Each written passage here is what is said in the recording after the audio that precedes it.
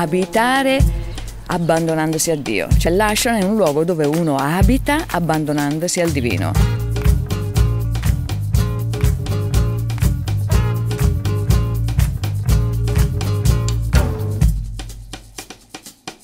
Una cosa importante quando si viene al centro ashram è venire con i piedi puliti e le calze non bucate.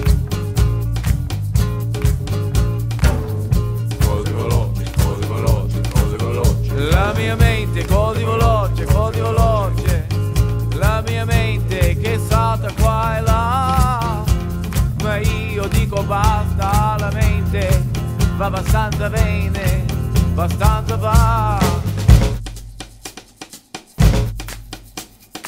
alla fine uno viene qua e si rigenera con la mente, è un po' come un punto di ripartenza anche. Con la mente e lo spirito del cuore soprattutto. Ah, qua bisogna levarsi le scarpe? No. No, no lì. Di solito tradizionalmente l'ashram è la casa di un guru. Noi abbiamo avuto il nostro guru che adesso non è più con noi sulla terra, ma qui stiamo cercando di mettere in pratica i suoi insegnamenti. E quindi abbiamo quattro punti sacri dove ci si toglie le scarpe. Il primo è questo, il mandir, è il tempio. La struttura architettonica è esattamente uguale a quella dell'India, quella che ha fatto costruire Babaji, dove lui ha, ha avuto la sua sede.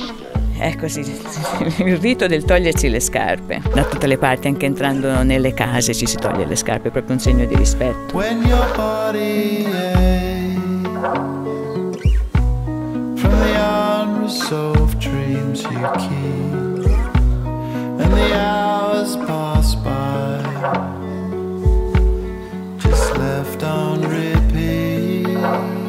Questo colonnato, questo tempio, una struttura tipica indiana, si combina molto bene con la struttura così particolare dei trulli, è qualcosa di, di unico, devo dire.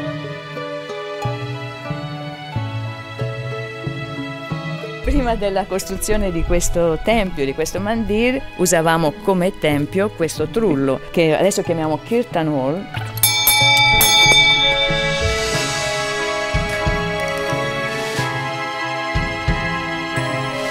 Questa è la sedia la poltrona simbolica di Babaji. Questi sono i sandali eh, tradizionali di legno eh, di Babaji rappresentano la sua presenza fisica qua. Allora noi sappiamo che fisicamente non è più con noi, ma con spirito lo è. Voi sapete che in India si considera una realtà le reincarnazioni e sappiamo che Babaji ha avuto varie reincarnazioni, infatti questa è la foto di una sua reincarnazione precedente. Cioè Babaji prima era... Era, era in questo corpo nel Novecento e poi nel 1970 si è manifestato con quest'altro corpo che tu vedi in quest'altra foto.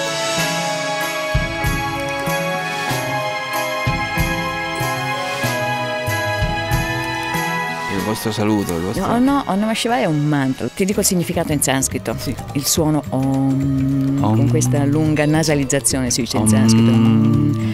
È il rumore e il movimento della creazione dell'universo. Namaha significa fare così, unire le mani, inchinare la testa in segno di rispetto. Om è il verbo, come dire, Namaha, ti saluto così, Shivaya, Shiva è un nome di Dio, che significa tu che sei il bene, quindi ti saluto con rispetto tu che sei il bene. Posso dire che questa cosa che abbiamo visto è proprio forte? Ma io lo sapevo che ti piaceva.